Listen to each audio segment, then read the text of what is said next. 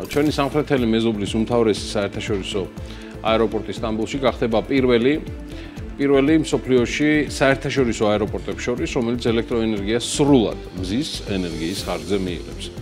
ამისთვის სპეციალურად ქალაქში სახელად ესქიშეჰირი აშენდება სპეციალური ელექტროსადგური, რომელიც 3 მილიონ კვადრატულ მეტრზე გაშენდება და მასზე განთავსდება 440000 ფოტოელექტროპანელები საერთო სიმძლავრით 200 მეგავატ ელექტროენერგია.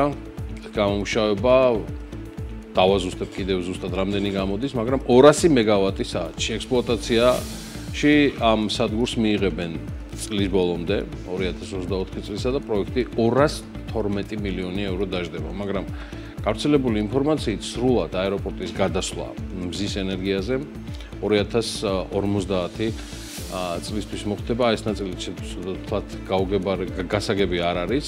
ვერ გავიგე რატო არის გადაწეული კიდევ დამატებით 24 წლით, თუმცა რელიზში წერია რომ ამ წლისთვის იქნება შესაძლებელი, ანუ 2050 წლისთვის მინიმუმამდე დავიდეს ნახშირბადების გამოფრქვევა ჰაერში ეთყობა ელექტროთვითმფრინავებსა ძალიან თურქეთში ამასობაში რა გითხრათ.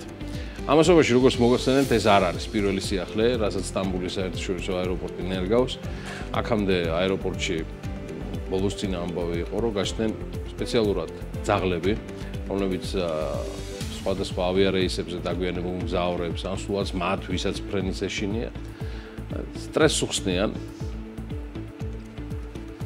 ასე რომ, აი ესეთი ამბებია რეგიონში და სამეზობლოში. სულ მალე ჩვენ სამხრეთელ მეზობლთან იქნება აეროპორტი, რომელიც სრულად გადავა მზის ენერგიაზე. მადლობა ამ ინფორმაციისთვის ჩვენს ბიუროს ბაქოში.